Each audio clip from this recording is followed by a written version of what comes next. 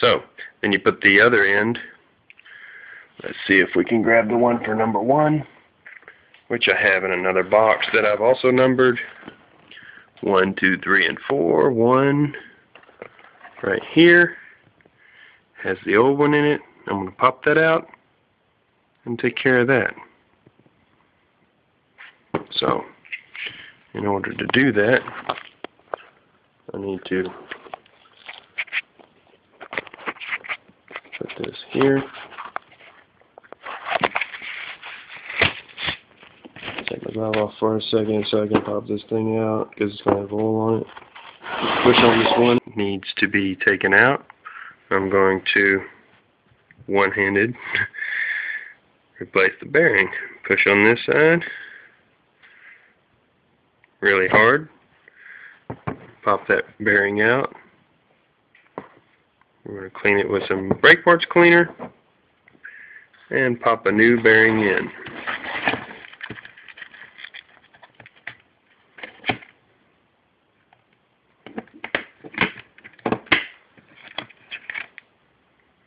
And that's going to be tight. Okay. Okay. Alright. So, I've got these end caps here pretty well cleaned out, ready to go.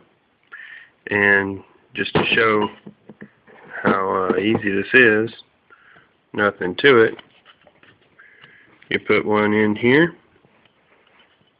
By the way, I use brake parts cleaner and paper towels to clean these up. Put one in, push it into place. Put another one. Oh, let's see, I'll just go up on the piston side here. Get you to get a look at that. Put one here. One-handed. Hmm.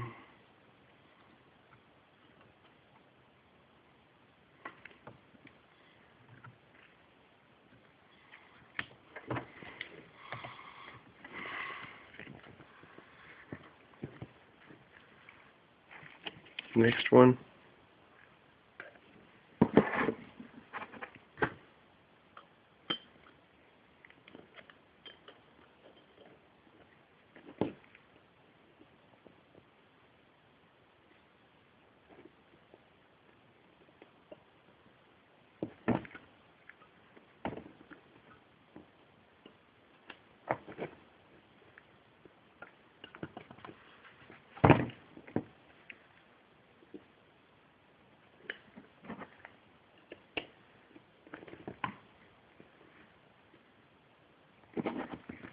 Okay, a little hard to do one-handed.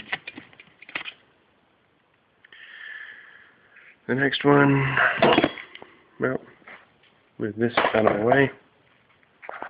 And um, this one here. Going to this one.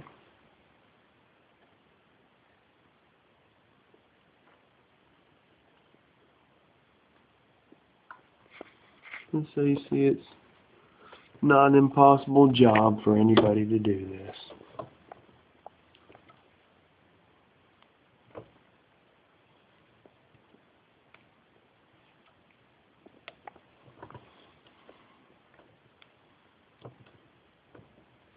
Okay. And the next one.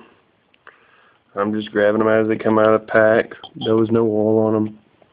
I wiped the back of a couple of them. You can clean them with brake parts clean on the back side, won't hurt nothing. These are polished. I'm ready to go.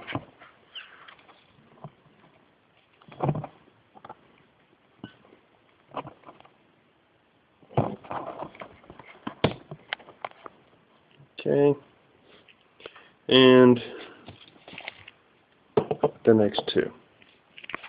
Okay, so there you go. Make sure you clean this side out with some brake parts cleaner and napkins about twice to get any oil from back there.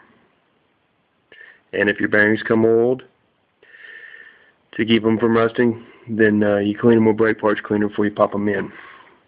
Okay. That should be the end of that. And you see I got rubber hoses on the end of these bolts. That's so when you put the pistons back to the cylinder hole, they'll come up and where they meet the crank, these won't scratch the new polished crank.